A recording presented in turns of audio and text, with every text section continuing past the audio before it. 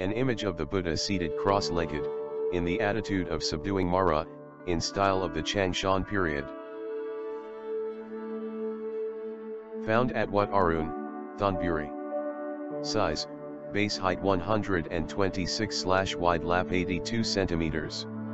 Seats on the lotus base and decorated with pearl embedded eyes, iron tipped above the nipples, spiral hair curl and detachable lotus shaped top aura.